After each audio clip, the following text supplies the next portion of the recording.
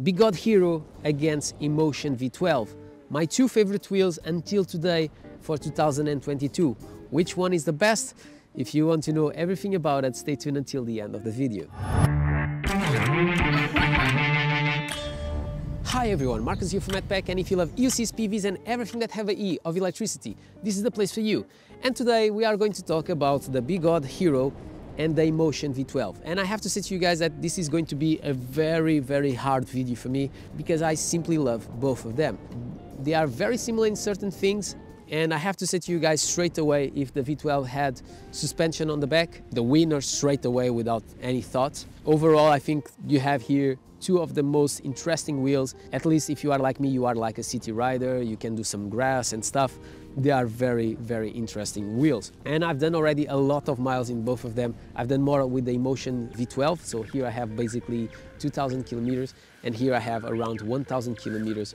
So just to point it out, I've been loving both of them. I had a very massive accident with the V12, but it was not the fault of the V12. I just get some mud and this tire definitely, I don't trust this tire anymore since the accident. And here also, I don't have the standard tire that you'll find on the, the Hero. Here I have the Michelin City Pro and obviously that changed completely the sensation that you have with the wheel. And if you never try to change the tire on your electric unicycle, I definitely recommend to do it because suddenly you are, you're going to have a completely different experience and adjust that tire to your needs. Check which tires are the best for your electric unicycle. So let's start from the top and I have to say to you guys that these two handles are basically almost the same height. They are very functional, both of them, but I have to give some points to the Begode Hero when we talk about how sturdy this one feels compared to the V12, but it's also very, very sturdy. But in comfort, this one will feel more comfortable than this one because it have sharper edges. So definitely this feels a little bit more comfortable if you have to use it for a long period of time. Another thing that is a point in favor of the Begode, if you want to put a jacket, obviously you have these two bars and your jacket will not fall. So have just that in mind. When we look obviously to the turn on and turn on, I have to give those points to the Begode because this one is basically deep inside the plastic so it's impossible that you hit. This one is very very close to the top and it's very easy for you to just press it if you are just sitting on top and turn off your wheel. Another thing is if you want to lift your wheel in here you just have to press the button and lift it up so definitely that is a point that you have to give to the Inmotion V12 and in here you have these steps. When we talk about the charging ports because the charging port on the Begode Hero is on the top. This one is just a normal USB 1.5 amps. In here you are going to find USB-C and USB and obviously also your charging port in there. And when we talk about chargings, obviously it's better on the Begode Hero because you are going to find two charging ports and when you go to the V12, the Inmotion V12, you are going just to find one charging port. So if you want to do a fast charging and you have two normal chargers, you can do that with the Begode, but you are not able to do that with the Inmotion V12. Another thing that you have on the top is the beeping noise that comes through the top on the Begode Hero. Here you don't have that, but it's also possible to hear quite well. Here is going to be louder because it's just pointing directly to you. So also some points to this one. Another thing that you'll find on the top of your Begode is the sensor. So as you can see, since it's dark, it will turn on and turn off. That is a slight disadvantage with this sensor because sometimes if you have like a very strong light in the streets during the night, sometimes it can turn off the light. So have that in mind. In here you don't have that, so you need to manually change the buttons. But also it's easier just to understand which ones I have just pressed it because in here you need to press one, two, three times to just turn it off. So I need to constantly look what I'm doing. In here I have I have these sounds that allow me to understand what I'm doing, so I'll prefer that than in the Begode Hero. And many times I just press it to turn on the lights and to be sure that I have full light on the Begode Hero. So have that in mind. When we talk about the seat, obviously it's more comfortable and this have literally a seat built in on the Begode Hero. But as I explained to you guys, this seat is not usable because the button to to open it it's very raised so when you sit in here it just open and the wheel lose the balance. So definitely not the best experience. And I, I can tell you it happens to me when I was in traffic so I didn't like it at all. Another thing that I have to say to you guys that is basically a draw is the screen there is some advantage on one screen to the other. So if you go to the screen on the Begode Hero, it obviously is much, much bigger. It's very easy to see how fast you are going, what is the temperature, what is the battery, and what is the amount of kilometers that you've done with that wheel. In here I can customize and I can put every information that I want. And another thing that I never saw in any wheels, I can see the time, I can see which time it is. So many times I'm, I'm on the traffic light and I'm not sure if I'm late to go somewhere or going to work or to pick it up the train and it's easy for me just to go there and I don't have to lift my jacket. And you know that sometimes it's difficult if you have like a motorbike jacket to see your watch. And in that case I just have to look down and it tells me the time. So definitely a plus. So between the two, I have to say to you guys that I prefer the screen on the Inmotion V12, even if it's so much smaller than the one that you find on the, the God Hero, but I can put the information that I need and how I want to do everything. So if you want to see how many miles you've done in that trip, you can do it. If you want to see uh, the temperature, you can do it. So you can do whatever you want and customize the panning on the ride that you are doing. Another thing that I would like to see in future generations of the software is the possibility to change the rider. So I have different configurations for the wheel. I would love to be doing that with the Inmotion V12. And that's another thing that is not even comparable. When you go to a Begode wheel, you can customize almost anything. Here you can customize all the riding experience. If it's off-road, if it's commuting, if uh, you want that it tilts more on the front, more on the back, how is the braking experience, how is the acceleration experience. That is a customization that I never thought to find in any electric unicycle and they've done in an amazing way on the Inmotion V12. On the sides, I have to say to you guys that it's a mix of sensations. So many of you guys have some issues to just glue your power pads on the top and you send me some message how I've done it. You just have to warm up your Velcro and in that way it sticks to that surface because you have this sponge sensation. But both of them, they are very comfortable. All the shape of it is very anatomic in one wheel and the other and even the heights of the wheels, they are similar to each other. So if I put side by side, obviously we can see that the, the Hero is a little bit higher than the V12, but just slightly, not a lot okay? So just have that in mind. But here on the sides I'll have to give to the Inmotion V12 that is easier to attach my favorite power pads. They are not here because I'm not being using the V12 because I'm waiting for a new motherboard. I love to use my pads here on the top.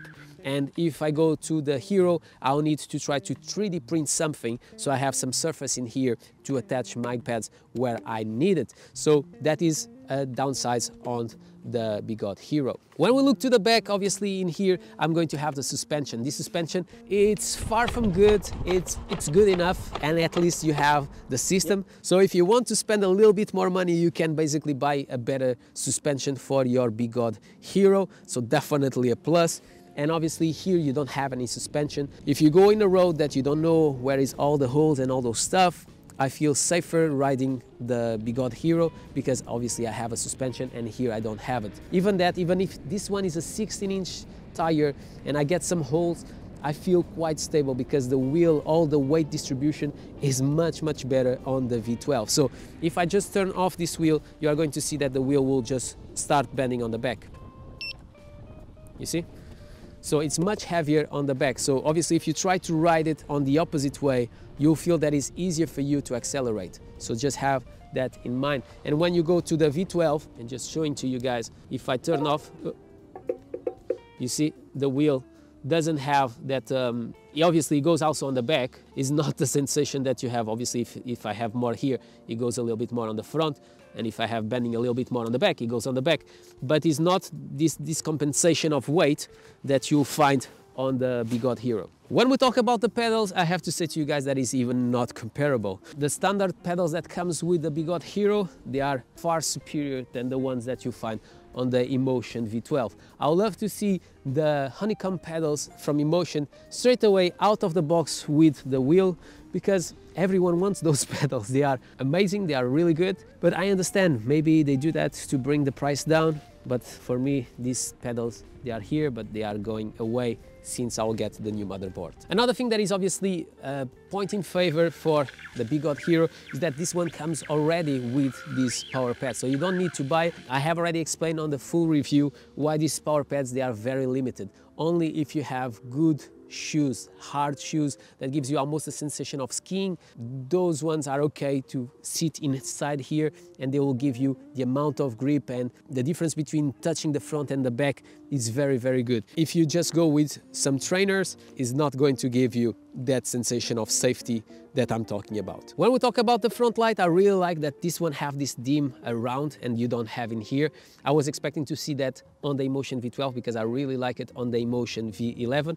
But obviously I have here three modes and here I have two modes. So you have more possibilities to choose which amount of light that you want with the V12 than com comparing to the Begode Hero. When we talk about amount of light that you have in front of you, it's very, very similar between one wheel and the other, but with the difference that the Inmotion V12 the light is much wider, so you have more light pointing to the sides, but it's not strong enough like I would like to. To lift it up, I have to give that point to the Begode Hero. Since I injured my shoulder really, really badly, I like the fact that I can grab with two hands like this. If I want to do the same with the Inmotion V12, I need to basically grab through the pedals. So if it's the winter, you are going to dirty all your hands. So just have that in mind. When we talk about the speakers, it's even not comparable. So this is completely night and day. When you go to the Inmotion V12, you have speakers coming from the front and back. You don't have the amount of bass that I would like to see, but the sound is very clear. Here is very muffy, the sound, because the speakers are inside the lights and pointing down to the body of the wheel. So not the best design in there, but just to point it out that you have music coming from the two. Here you have more bass than you have in here, but it's normal also because the sound is a little bit more muffy. When we talk about mudguard, I have already said that this is my favorite mudguard and you can see that it's very very dirty here on the bottom but it's not dirty where is the suspension. So the dust is not coming up to the rider so definitely a plus. And when you go to the Inmotion V12 it's not the same okay? So the dust goes up to the rider.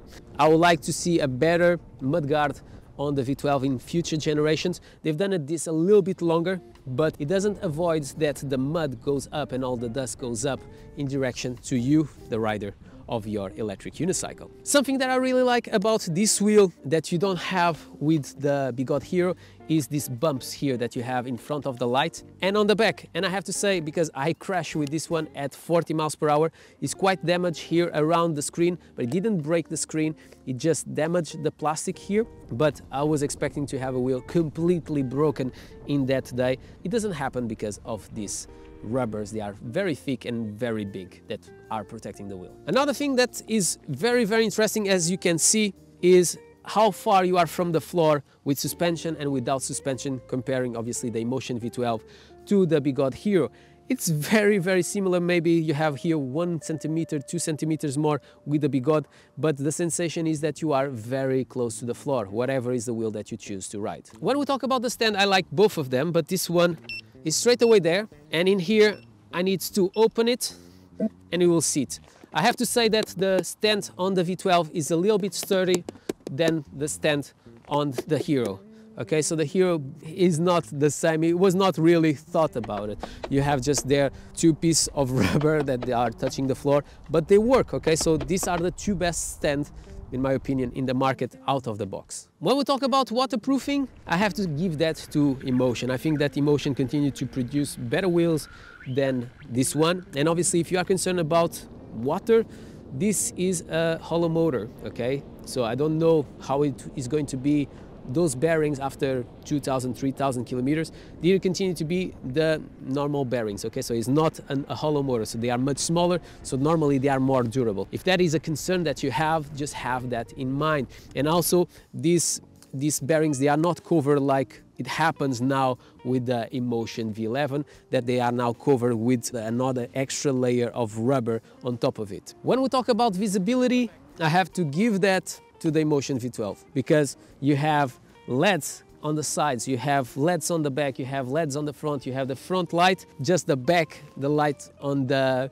Begode Hero is better than on this one, but at night to be visible, I feel less concerned when I'm riding with Inmotion V12. When we talk about battery, and here is my biggest complaint about the Big Begode Hero, is that I think that the batteries that they put here, they are not high quality. Like for example, a Samsung 50E will be already a better option, the ones that they are going to use on the, the Begode Master, but you don't have in here. I think here it continues to be an LG, but I'm not completely sure, so just have that in mind also.